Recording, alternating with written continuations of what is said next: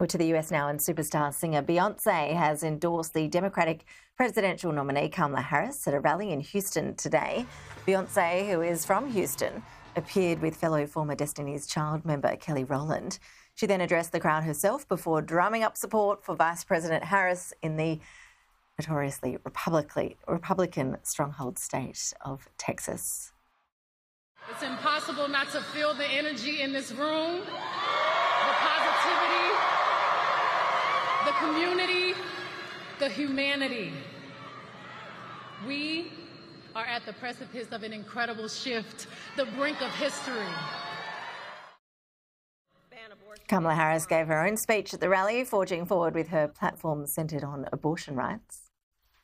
We can, as a community of people, as people who love our country, be clear, sound strong, and stand in favor of the freedom of every woman to make decisions